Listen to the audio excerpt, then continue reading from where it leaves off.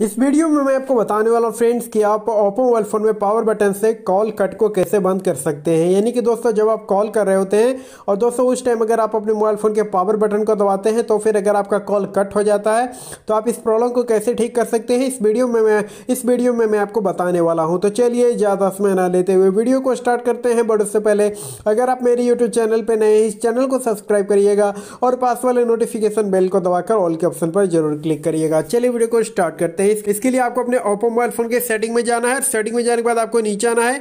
नीचे आने पर आपको एक ऑप्शन मिल जाएगा यहाँ पर एडिशनल सेटिंग का। तो आपको यहाँ पर क्लिक करना है और उसके बाद आपको इसमें एक ऑप्शन मिल जाएगा एक्सेसिबिलिटी का। तो आपको यहाँ पर क्लिक करना है और उसके बाद इसमें जब आप नीचे आएँगे तो दोस्तों आपको देखिए एक ऑप्शन मिल जाएगा press power button to ends call का।